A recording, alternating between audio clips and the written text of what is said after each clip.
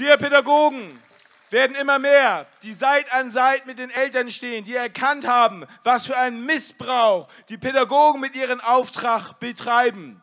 Ich selbst bin Schulleiter AD, weil ich es in diesem Schulsystem nicht mehr aushalten konnte, schon vor Corona. Wie viel schwerer muss es jetzt sein? Und deswegen möchte ich, bevor ich zu einem etwas freieren Vortrag komme, danke, einmal jetzt ganz deutlich einen Weckruf für alle Pädagogen dieses Landes verlesen, den ihr auf unserem Telegram-Kanal Pädagogen für Aufklärung dort auch erhalten und runterladen könnt. Auf Englisch und auf Deutsch. Weckruf an alle Menschen auf der ganzen Welt mit pädagogischer Verantwortung. Liebe Pädagogen, liebe Eltern, liebe Leitungen schulischer und pädagogischer Einrichtungen, was ist euer wahrer Auftrag? Was ist eure wirkliche Berufung? Der Mensch ist nur wirklich Mensch, wenn er frei ist, Vertrauen in sich und die Kraft der Gemeinschaft hat und sich nicht von Ängsten, sondern von Liebe zum Leben leiten lässt. Der aufwachsende Mensch orientiert sich am Vorbild, beim Aufrichten wie beim Aufrichtigsein, beim Aufrechtstehen und so den Mechanismen der Unfreiheit zu widerstehen. Dieses Vorbild ist entscheidend für die Bereitwilligkeit und Fähigkeit der kommenden Generation, neue, nie dagewesene Wege der Freiheit, der Wahrheit und der Liebe zu gehen. Dieses Vorbild, Pädagogen im ganzen Land, in der frühkindlichen Pädagogik, in der schulischen Pädagogik und auch in der Erwachsenenbildung, dieses Vorbild seid ihr, erfüllt es jetzt, auch entgegen aller Widerstände und eigenen Ängste dann gestaltet ihr diese historische Zeitenwende konstruktiv und entscheidend mit. Gebt dem nie wieder wirkliche Kraft und den menschenwürdigen Visionen eine Zukunft. Ihr seid so entscheidend, daher entscheidet euch jetzt, denn authentisch aufrecht ist das neue Genial. Danke die Zukunft.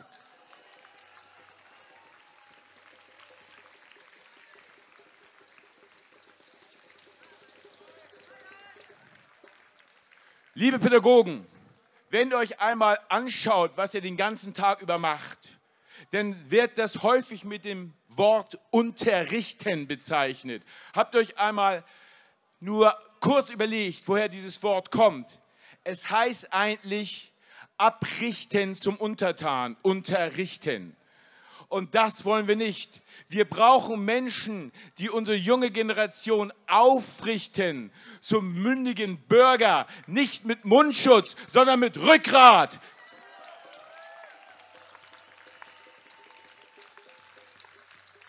Ihr, liebe Pädagogen, seid Vorbilder für die Liebe zur Wahrheit, die Liebe zur Freiheit und für das Wesen der Liebe an sich, das Wesen der Liebe zum Leben gelebte Liebe und keine Abziehbilder eines obrigkeitshörigen Mainstreams.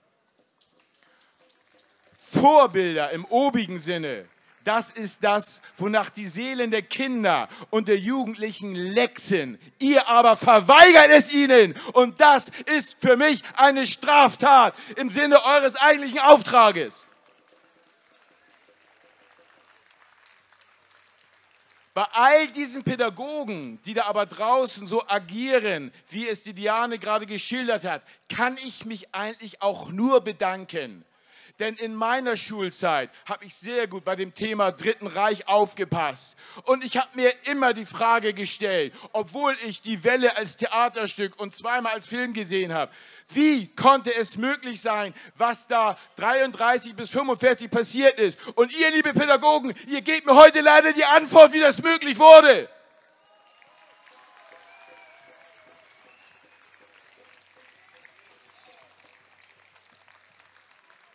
Und nun möchte ich mal ganz kurz einen Themenschwenk machen.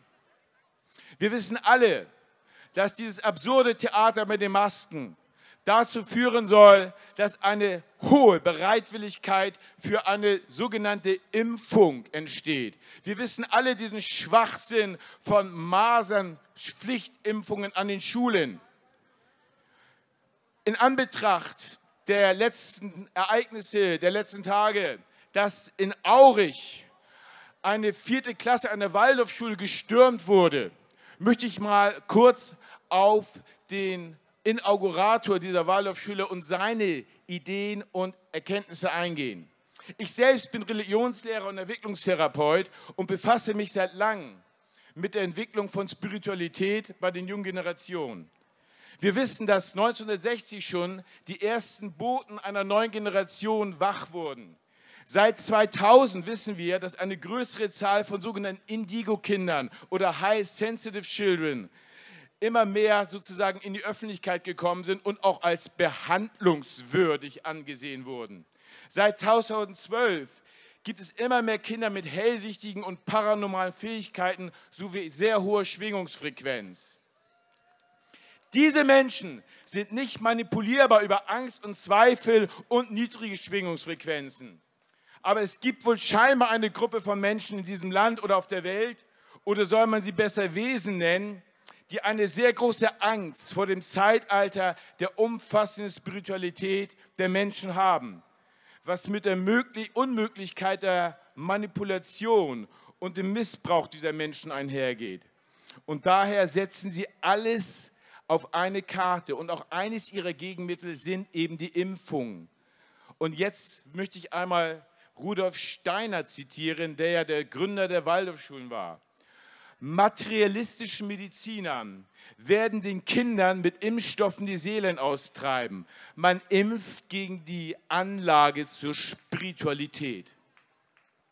Wo hygienische Maßregeln zu weit gehen, werden nur schwache Naturen fortgepflanzt. Die auf das physische wirkenden Impfungen müssen zwangsweise das Seelische veröden. Liebe Pädagogen, man muss Rudolf Steiner nicht in allem folgen, aber das sind deutliche Aussagen, die darauf hinweisen, warum hier ein Impfwahnsinn forciert wird. Weil es eine Gruppe von Menschen gibt, die Angst haben, dass wir zu unserem innersten Wesen zurückfinden, was wir immer schon waren, zu großen, schöpferischen Menschen in Freiheit und Liebe. Da haben viele Angst davor und das wollen sie unterdrücken, weil die kommenden Generationen immer mehr das schon mitbringen. So kann man auch diesen unglaublichen Überfall, der dort oben in Aurich passiert ist, nur verstehen. Das sollte wohl ein Exempel sein, was dort an einer Waldorfschule letztendlich statuiert wird. Ganz nach dem Motto, heute kommen wir nur zum Testen und morgen kommen wir zum Impfen. Aber da müssen die Waldorfpädagogen auch endlich mal einen Riegel vorschieben. Hier hätte ich, obwohl ich nicht weiß, was dort wirklich im Detail passiert ist. Aber hier hätte ich mir gewünscht, wenn die Lehrer dort wirklich im Geiste Rudolf Steiners unterrichten würden, dass sie sich als Lehrer geschlossen den Mitarbeitern des Gesundheitsamtes entgegenstellen und ihnen klar und deutlich machen, dass der Übergriff auf die Kinder nur über die Leichen der Lehrer zu erfolgen hat. Denn das ist ihr Auftrag. Sie sind Schutzbefohlene und nicht welche, die die Kinder als freiwillig fürs Gesundheitsamt einfach geben können. Das wäre mal ein adäquater Ausdruck von Lehrkraft gewesen. Aber so war es wieder mal nur ein kleiner Ausdruck der Kollaboration, leer und schwach eben. Und das ist leider schon sehr häufig bei einigen anthroposophischen Schulen und Ärzten auch bei den Impfungen passiert. Aber ich möchte mich jetzt nicht daran abarbeiten. Aber es muss deutlich gesagt werden an alle Lehrer in diesem Land, ihr seid Schutzbefohlene. Und genauso ist es mit dem Social Distancing und dem Maskentragen. Leute, ich habe viel in diesem Bereich Psychologie an Erzieher unterrichtet. Und wir haben uns sehr viel mit den Bindungstheorien beschäftigt und auch mit den neuesten Erkenntnissen aus der Neurobiologie. Vielleicht ist euch der Begriff dieses wunderschönen Bindungshormon Oxytocin irgendwo schon untergekommen.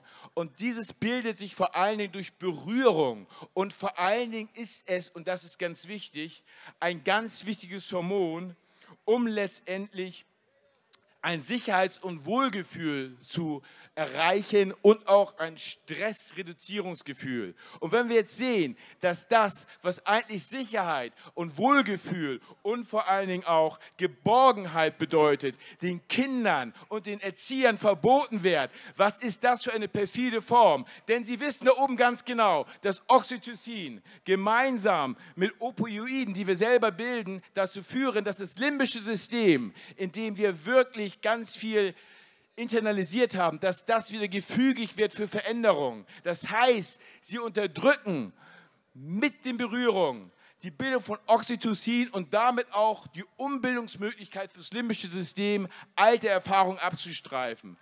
Da steckt ein perfider Plan für mich dahinter und ich glaube einfach, dass das nicht genug gewusst wird. Ich frage mich, liebe Lehrer, wofür habt ihr studiert, wenn ihr das Teil zwischen den Ohren nicht mehr gebraucht?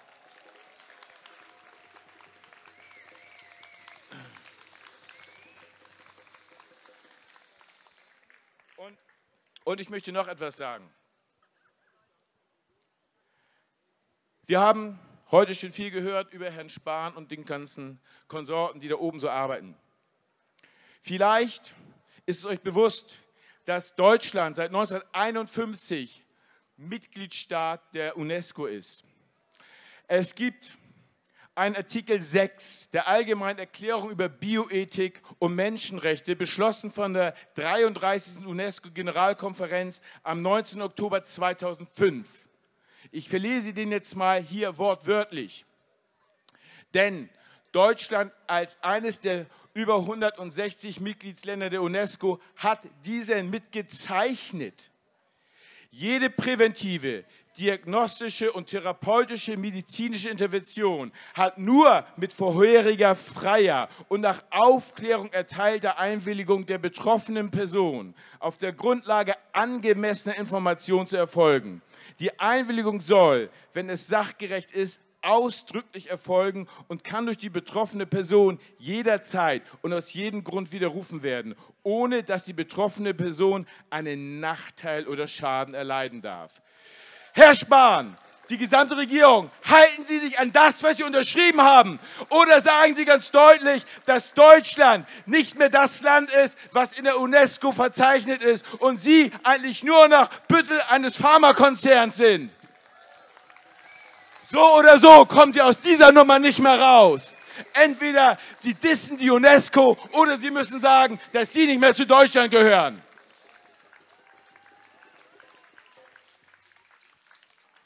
Und jetzt möchte ich auch noch anderen Rednern die Chance geben, hier ihren Unmut kundzutun, aber auch Perspektiven zu bilden. Ich bitte euch, alle Pädagogen, die ihr kennt, deutlich zu machen, es gibt die Pädagogen für Aufklärung als Kanal, als Gruppe und für jedes Bundesland eine extra Gruppe. Und wir werden auch Regionaltreffen mit physischen Antlitz-zu-Antlitz-Treffen machen. Und wir haben adäquate Mittel, um uns zu wehren. Deswegen informiert eure Pädagogen, eure Lehrer, eure Erzieher, es gibt jetzt endlich einen Ort, wo sie nicht mehr allein sein müssen. Jetzt gibt es Rückgratstärkung und wir werden es durchziehen. Dankeschön.